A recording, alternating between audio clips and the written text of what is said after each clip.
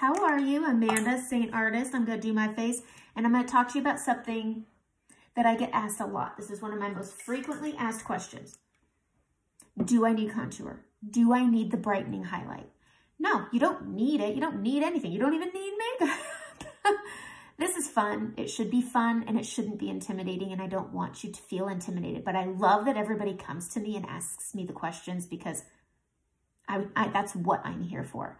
And so what I want to say is you don't have to get these things.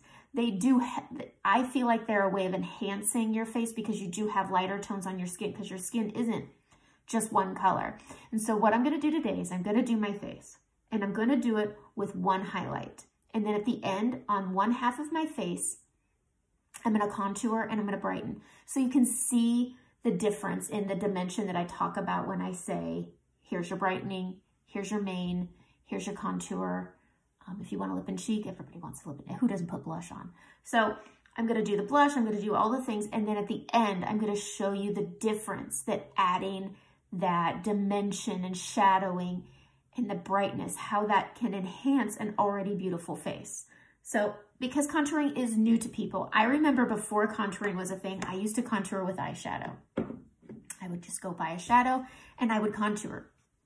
I didn't know it was a thing, but I liked the way it made my cheekbones look. That's the only place I thought to contour was right here on my cheeks, but there's so many places that have natural shadowing. I didn't know that I could straighten out my bumpy nose, but I can. Okay, so first thing I'm gonna do is I'm gonna color correct. I have some redness and discoloration, so I go into the Contour Color Aspen, and I use this one because it's such, if you have very, very fair skin, Aspen would be a good contour color for you. Um, otherwise, it just kind of turns into your skin tone. Um, for some people, or it can look a little gray. It just depends on your skin tone, which is why color matching is so important.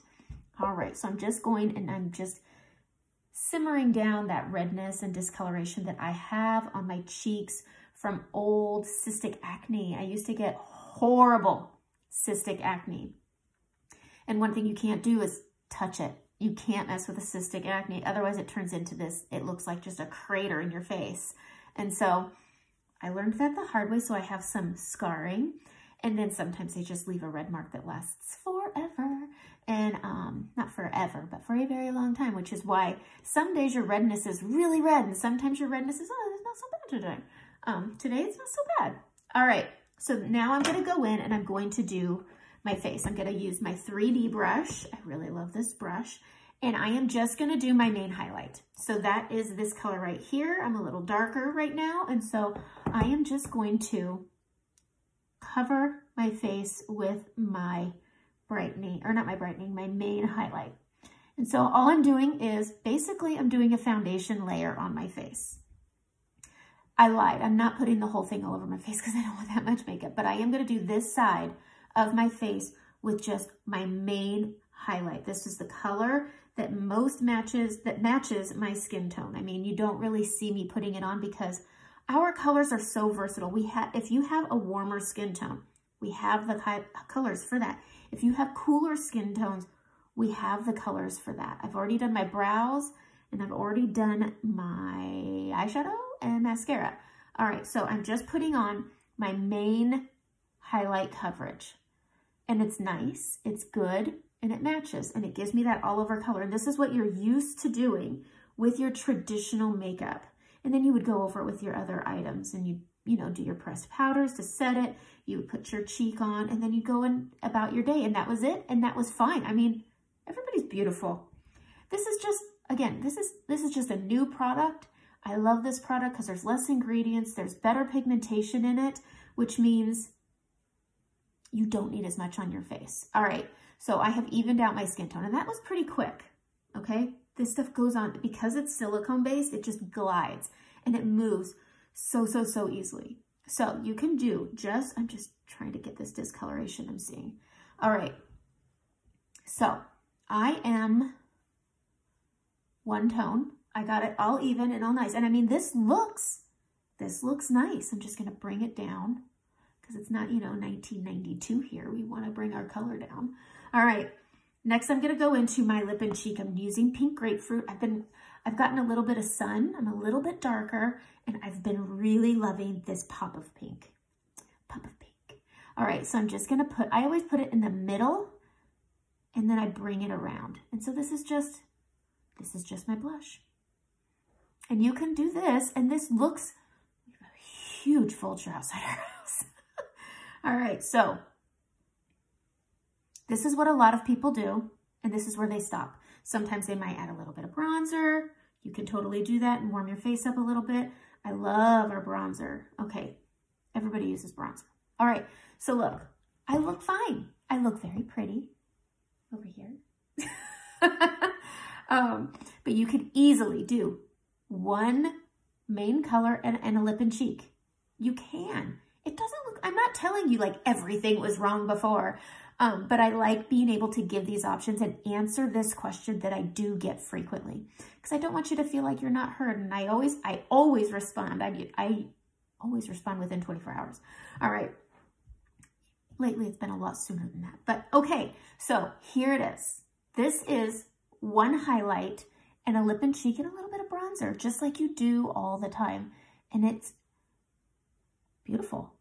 It, I just love the way that this lives with your skin. It, I have a natural dewiness and glow. It's like a second skin. All right, so now I'm going to go over here and I'm going to put on my makeup with dimension. So the first thing I'll do is I'm going to put on my all over color where I always put it. So I always put it along my jawline and I always bring it up right here.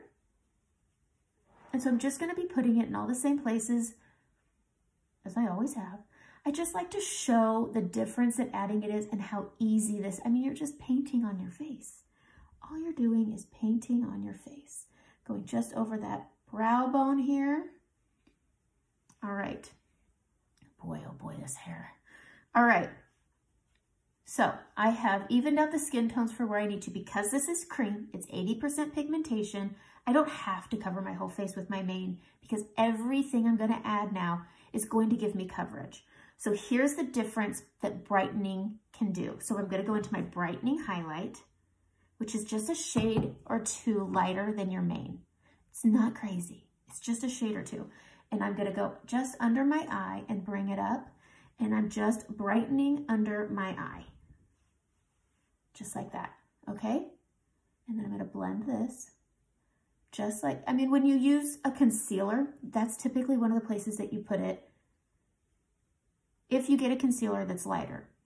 But a lot of people think, oh, I got to put a lot under my eye because I have dark circles. Not everybody has crazy dark circles, but they feel like they need concealer. And I hear that a lot. I just felt like I needed it. I saw everybody else doing it. Well, now you're seeing everybody else use Seint, so why don't you try it? All right, so I've just brightened. It's just a little bit brighter under the eye, brings it up, but it's just brighter. I mean, that's really it. And then I'm to brighten right here. I'm to use the pointy end and I'm to brighten right down the, the top of the nose. Bring that up. I'm to brighten right here and here. Okay. And what I like about this makeup is because it's all right here, it goes on faster because you're not digging in a bag looking for something. It's nice. So I've just brightened under the eye and it just adds a little, a little brightness. I, all right, next I'm gonna switch over and I'm gonna get my detail brush that I should have had out ahead of time. All right, so now I'm gonna go into my contour and I'm gonna show the difference that adding contour can do to your face. So I'm using the dark color indigo, super scary. And this is, I think, a color that intimidates a lot of people. And I'm just gonna contour here. And I'm gonna contour the side of this nose. The tip because I'm to straighten out my bumps. And it looks scary. I know it does. I know. We're to be okay. And then I'm to go just above the hollow of that cheek, but under my cheekbone. And that's it, okay? I have gotten it all on. Okay, so next, so now I'm just to blend this. I'm not, I'm not done. I'm to put it right here. This is a, an area where you contour and you really you don't notice it until you notice it.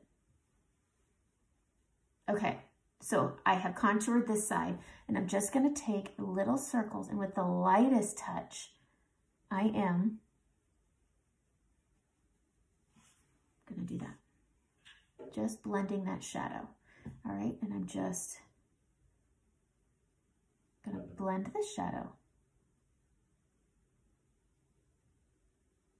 I'm gonna buff out the bridge. I'm gonna add a little bit of brightness because I overdid it. So I'm just gonna add the brightness and then I'm gonna blend it. I'm gonna use the tip of this brush just to get that brightness blended in. And then I'm gonna get the tip. All right. All right, so now I'm just going to go in with the corner here and with the littlest of circles, I'm just blending that cheek. And because of the pigmentation, it's giving me coverage in that area where I've had like discoloration and scarring. I'm just gonna bring that up here along the hairline. You wanna focus your shadowing on your hairline because your hair gives you shadow when it's down. and so that's where it's an easy place to blend. So I've just blended that out and I've just enhanced my cheekbone. Okay, now I'm gonna go in back with my 3D brush and I'm gonna go into that pink grapefruit and I'm gonna put it on my cheek, just like I did on the other side. Just like I did on the other side. So this is the difference. This is really it. This is the difference that it gives you. I'm gonna take my blush and bronzer. I like taking this fluffy end and I just like to marry these all together, which just means I buff in, not really buff, but I sweep my brightening into my dark areas where I put shadowing. And I just like to sweep this up and this down. So this is yummy. Um, this is what I wanted to show you. Let's add some lip. I'm gonna take makeup, or not, yeah, no, MAC, Makeup Forever, Oak. I'm just gonna do a nice neutral lip real quick. I just like to let you see a finished product.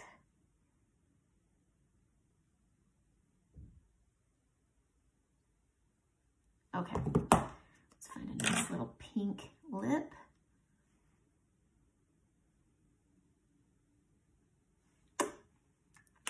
I had somebody say, I smack my lips a lot when I put on lipstick. That's okay, do it. All right, there we go. Okay, so this is the finished look. This has contour. I've contoured up here. I've given some warmth. I can add some of that bronzer I added over here too, so I'll just dip into that. Add some bronzer.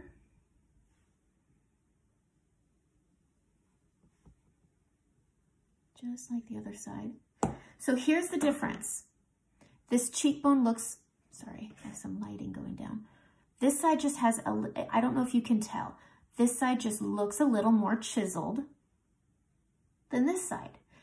I just like to show the difference. This is why when you ask me for a color match, I give you a list, a list. And that's not saying buy it all. This is what you need, get it.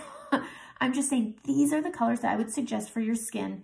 I like the contouring because it gives my face the full dimension I want. I'm able to enhance the areas I like. I'm able to fix areas that make me uncomfortable. My bumpy nose, it makes me uncomfortable. The bulb at the end that I feel like I have, it makes me uncomfortable. With the contouring, I can straighten out my nose. I can brighten down the bridge.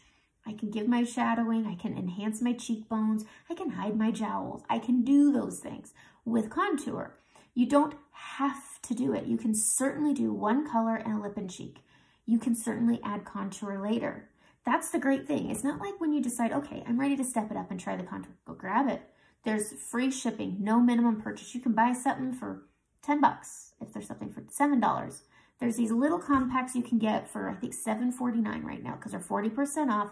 Once this size is gone, it's gone. Free shipping just to get a $7 compact. So if you decide I want to add something. I'm ready to try something new. Go for it.